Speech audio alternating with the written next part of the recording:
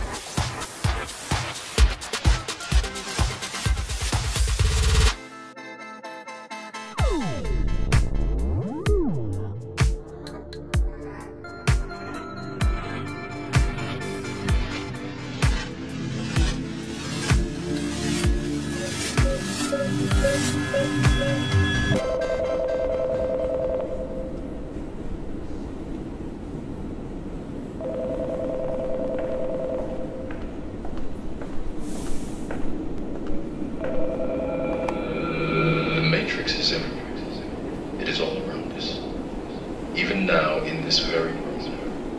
You can see it when you look out your window, or when you turn on your television. You can feel it when you go to work, when you go to church, when you pay your taxes. It is the world that has been pulled over your eyes to blind you from the truth.